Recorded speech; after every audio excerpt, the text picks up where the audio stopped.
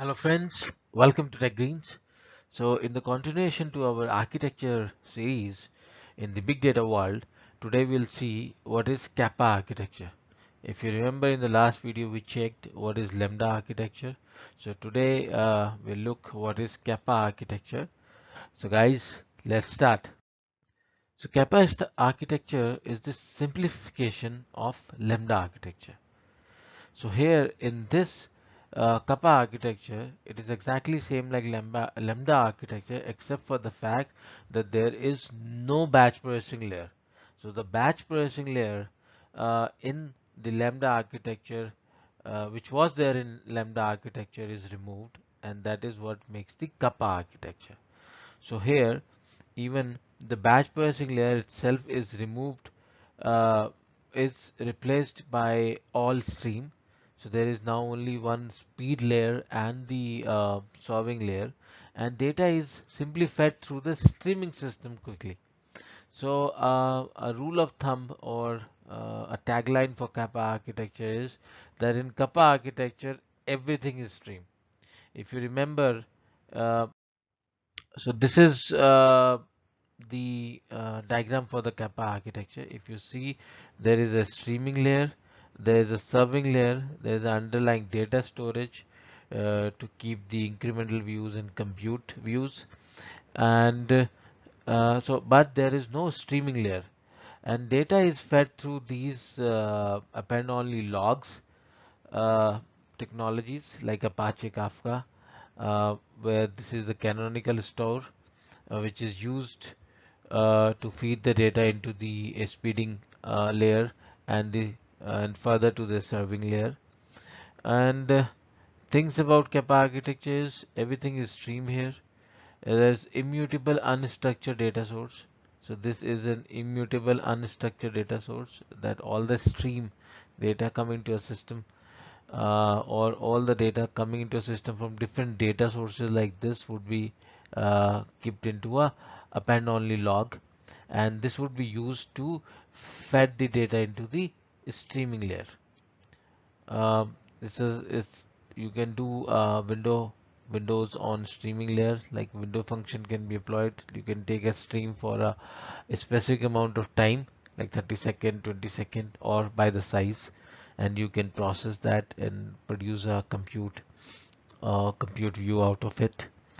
Uh, this architecture uh, makes it linearly scalable because now there is no another parallel layer if you want to scale it down horizontally we can do that.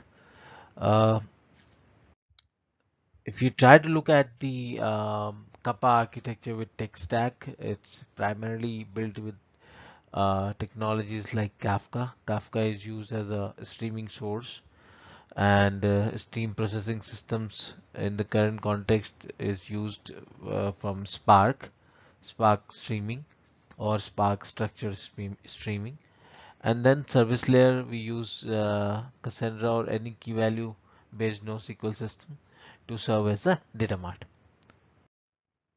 So guys, uh, Kappa architecture actually revolutionized data mig database migration, specifically database migration, because as we have seen, now data is fed into the streaming layer through these append-only logs like Kafka or something. So anytime uh, we want to say migrate it to the another system say from dev to prod, prod.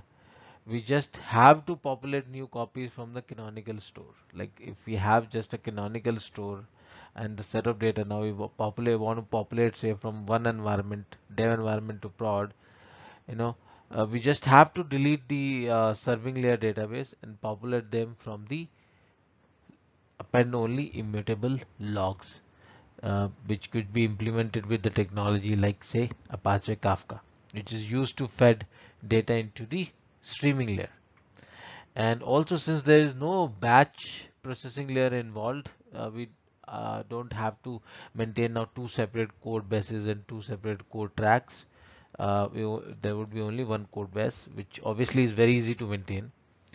Uh, one important point uh, you know as we have discussed I want to reiterate here you know uh, Kappa architecture makes it a point that rather than using a relational DB like SQL or any key value store like Cassandra Instead of that, the canonical data store in Kappa architecture system is an append only immutable log, which could be implemented with the technology like Apache Kafka.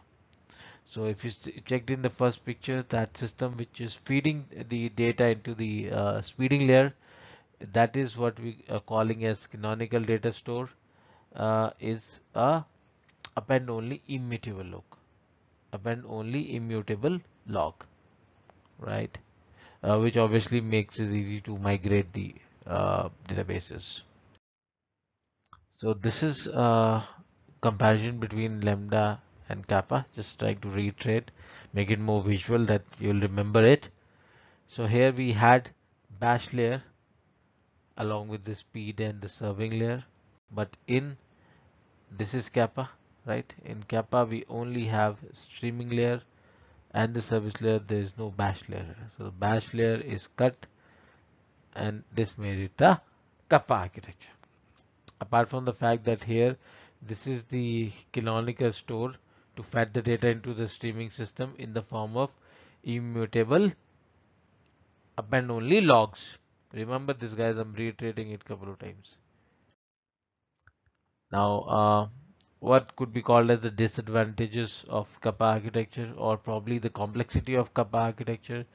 Because here everything is a stream so uh, its its complexities are related to how to handle the stream and how to process the stream you know uh, which which primarily could be categorized uh, as the problems of say handling the duplicate events when the stream of data coming because we are trying to do a real-time processing uh, cross-referencing events. Say if event X came at say uh, at some time, then another event Y came at say after two hours. So how we can do a cross-referencing between the events because we are processing the events on some window, right? How we'll hold on and how we'll do a cross-reference across different events. You know, maintaining the order of the events, another difficult thing how to do the state consistency guarantee like it, whether it would be you know exactly once or at least once those all things are difficult to manage in the stream context so the complexity and the complications in the kappa architectures are related to the stream handling um, also you know to handle the stream uh, it, it's always tricky because uh, how to deal, uh, how to maintain the resiliency against the stream imperfections or say stream data is coming null, not coming null, order management, all those things, and all these things create complexity in the Kappa architecture. So guys, that's it in this particular video. Have a great day ahead. Bye bye.